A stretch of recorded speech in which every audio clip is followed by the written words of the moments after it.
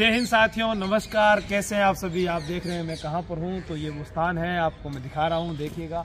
ये वो स्कूल है, जहाँ पर सबसे पहले मेरे पिताजी कार्यरत यहाँ पर रहे हैं। ये लालगढ़ जटान गाँव का स्कूल है और इस स्कूल के अंदर ये पहला पापा जी का ही ऑफ़िस हुआ करता था इधर।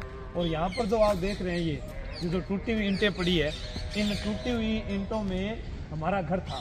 और ये पिपल का पेड़, ये बरगद का पेड़, ये किकर ये मेरा लगाया है। आपा लगाया? ठीक है? तो आज मैं तो गाँव आया तो मैं सोचा चलो आज आज जगह भी दिखावा।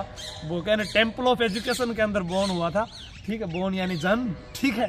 तो यहाँ आते ही ऐसे लगता है कि बचपन वाला वही दिन याद आ जाते हैं, इस स्कूल में हमारे गाँव के अंतर्राष्ट्रीय स्तर के हैंडबॉल के इतने खिलाड़ी हैं जो मतलब कि देश विदेश में खेल चुके हैं। वर्तमान में राजस्थान के अंदर कोई सब इंस्पेक्टर है, कोई इंस्पेक्टर है, कोई पुलिस कांस्टेबल है, कोई टीचर है, कोई पीटीआई है।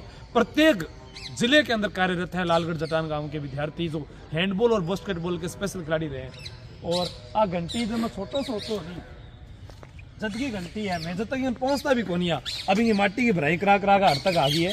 ठीक है दोस्तों तो अपने जो बात कर रहे थे सीटी कट ऑफ़ की तो सीटी कट ऑफ़ के अंदर मैं आपको बता दूँ कि आप लोगों का पेपर अच्छा हुआ होगा और जो अपने टेलीग्राम आसू जी के ट्रिक पर जो पोलिंग करवाई थी, उसके ऊपर हम देख रहे थे कि 90 से 105 के अंदर बीच के अंदर जिन विद्यार्थियों के नंबर आ रहे हैं, उन सब का लगभग ऐसे मानते हैं, अनुमानित वो पास हो जाएँगे, पंद्रह गुना अभ्यर्थी लेने हैं और उनका नंबर आ जाएगा। ठीक है दोस्तों, जय हिंद, जय भारत।